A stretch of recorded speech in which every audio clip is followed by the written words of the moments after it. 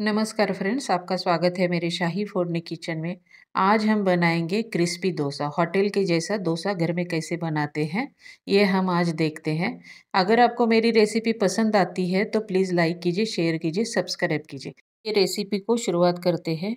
एक बर्तन में मैंने लिया है तीन ग्लास, छोटा ग्लास है, छोटा ग्लास से तीन ग्लास मैं चावल ले रही हूँ। चावल को दो बार हमें धो लेना है। इसमें डालिए पानी। ये मैंने डाला इसमें एक गिलास पोहा। पाउन से एक गिलास पोहा डालना है, जो हम पोहा नाश्ते में खाते वो। ये है एक गिलास मैंने लिया है उड़द दाल। ये है पाउन ग्लास चने की दाल। ये है दाना मेथी। आधा चमचा दाना मेथी डाला है। ये सबको हमको भिगो के रखना है सात से आठ घंटा के लिए।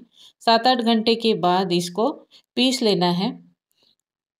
ये मिक्सर में मैंने थोड़े से चावल लिए भिगोए हुए। चावल जो हमने भिगोया था, वही पानी मैं इसमें डाल रही हूँ। बहुत थोड़ा सा पानी डालना है, क्योंकि चावल का पानी छूटता है। तो चावल जब हम पीसते हैं तो बहुत थोड़ा सा पानी डालिए।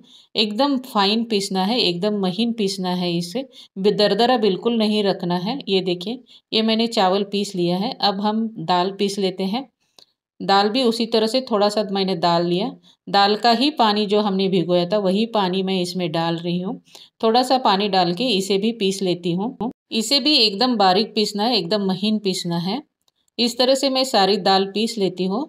इसको हम पीस के मिक्स करके इसे ढक के रखना है हम, हमें सात से आठ घंटे के लिए। जब हम दाल और चावल पीसी हुई मिक्स करते हैं तो एक आध मिनट इसको अच्छी तरह से मिक्स कर लेना है, अच्छी तरह से इसको घोटना है। ये देखिए, इस तरह से हो गया। बहुत ज़्यादा पतला या बहुत ज़्यादा गाढ़ा नहीं करना है। इडली का बैटर थोड़ा गाढ़ा होता है, डोसे का बैटर थोड़ा पतला होता है। इसको ढक के रख दीजिए सात आठ घंटे के लिए। ये मैंने निकाला है, कम से कम नौ घंटे हो गए होंगे। मैंने रात को पीस के लिखा था और सुबह नाश्ते में मैं डोसा बना रही हूँ। जब हम डोसा बनाएँगे, उसके पहले भी हमें इसको अच्छी तरह से मिक्स कर लेना है। और जब हमें डोसा बनाना है तो बैटर हमें थोड़ा सा अलग सा लेना है, अलग बर्तन में और इसमें नमक डालना है। रात में हमें नमक नहीं डालना है उसमें, जब हम बनाते हैं डोसा, उसी टाइम इसमें नमक डालना है और जब भी आप डोसा बनाइए थोड़ा सा अलग लेके उसमें नमक डाल के फिर डोसा बनाइए। पूरा बैटर में नमक मत डालिए, क्योंकि बैटर बच जाता है तो आप बाद में उसको यूज़ कर सकते हो। देखिए, इस तरह से होना चाहिए। इसमें मैंने वापस पानी नहीं डाला। तवा गर्म होने के बाद दो चम्मच मैंने इसमें बैटर डाल दिया है। मीडियम गैस में हमें पहले तवा गर्म करना है और तवा गर्म होने के बाद ही डोसा डालना है। हल्के हाथ से, माफ़ करना, हल्के हाथ से इसको, चम्मच को एक ही साइड से हमें घुमाना है, एक ही तरह से। और इसमें डालिए घी या तेल, आपको जो भी पसंद है फ्रेंड्स, वो डाल देना, तेल या घी, पर घी ज़्यादा टेस्ट करता है। थोड़ा देर होने के बाद इसको हल्का सा पलट दीजिए।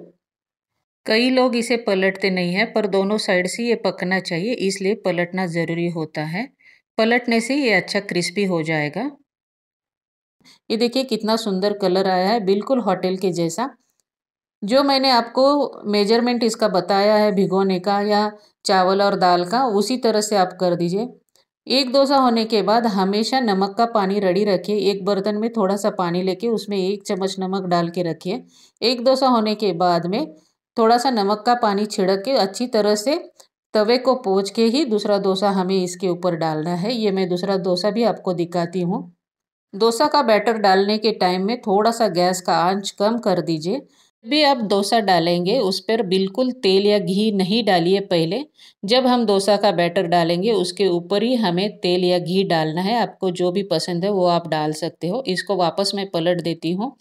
इसी तरह से मैं सारे डोसे बना लेती हूँ। देखिए कितना सुंदर कलर आया है इसको। बिल्कुल होटल के जैसे बहुत क्रिस्पी बन जाता है। अगर आपको मेरी रेसिपी पसंद आती है तो प्लीज़ शेयर कीजिए, लाइक कीजिए। ये देखिए हमारा दूसरा डोसा भी रेडी हो गया। इसको मैं निकाल देती हूँ।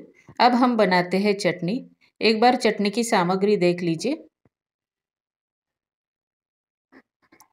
एक पैन रखिए, पैन में डालिए थोड़ा सा तेल। तेल डालने के बाद इसमें डालिए एक चम्मच चना दाल, एक चम्मच उड़द दाल।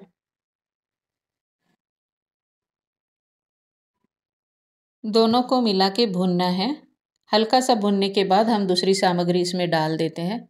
कलर चेंज होने तक मत भुनिए, नहीं तो चटनी थोड़ी सी काली होती है। ये मैंने डाला लहसन। अगर आप लहसन नहीं खाते हो तो लहसन मत डालना। लहसन की जगह हल्का सा अदरक डाल सकते हैं।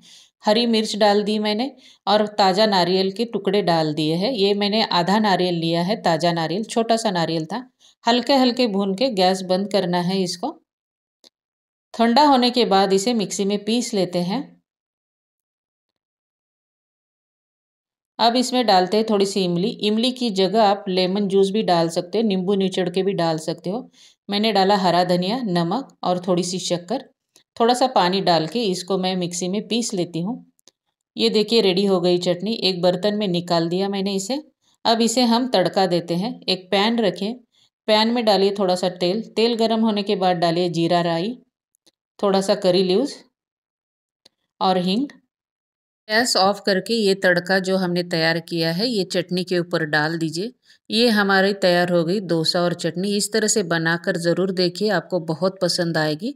मेरी रेसिपी देखने के लिए बहुत बहुत धन्यवाद।